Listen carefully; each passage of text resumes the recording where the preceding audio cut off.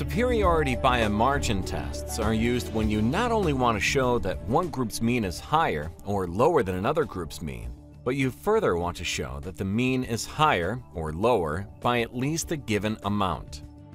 Suppose that a test is to be conducted to determine if a new treatment improves bone density. The density realized by the current treatment is about 2.3 milligrams per centimeter, with a standard deviation of around 0.6. Clinicians decide that if a new treatment increases bone density by more than 10% or 0.23 milligrams per centimeter, it generates a significant health benefit. They will assume a range of values for the standard deviation of the new treatment group. The researchers would like to know the sample size needed to achieve 90% power with an alpha level of 0.025. They wish to compare sample size requirements when assuming the new treatment bone densities are between 2.7 and 3.3 milligrams per centimeter.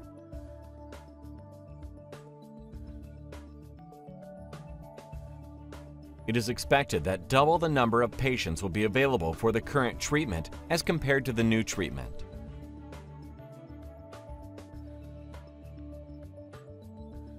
The first part of the report shows the needed sample size for each parameter combination.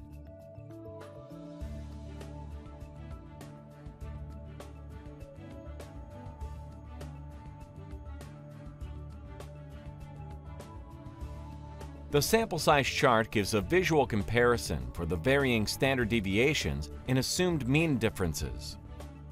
For example, there is a dramatic drop in sample size requirements if the new treatment bone density mean is assumed to be 2.8 rather than 2.7.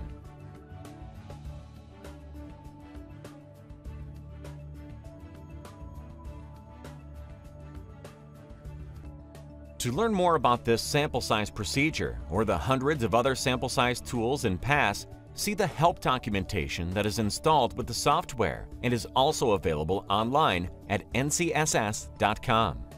If you are new to PASS and would like to learn more about it, you can download the free trial.